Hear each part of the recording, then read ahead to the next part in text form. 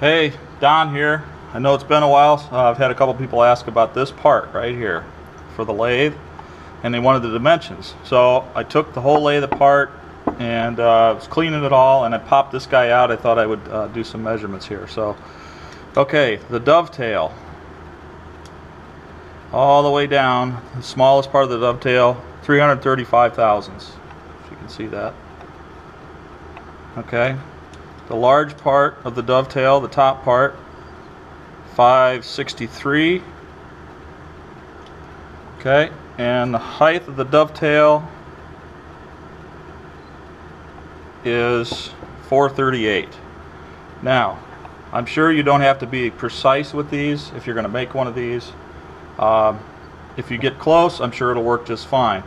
One of the other things, um, let me get these measurements here. Here's the the inside diameter. Okay, that's uh, 1.575. Okay, and then the total outside diameter is one inch and almost 800,000, 798 thousandths. So 1.798. So that's all your dimensions. The total height of everything. Let's see if I can get it here. This is, well, here, I'll do these measurements and you can add them up. The total thickness of both um, steps here, 271 thousandths. And the biggest one is 136, 136 thousandths.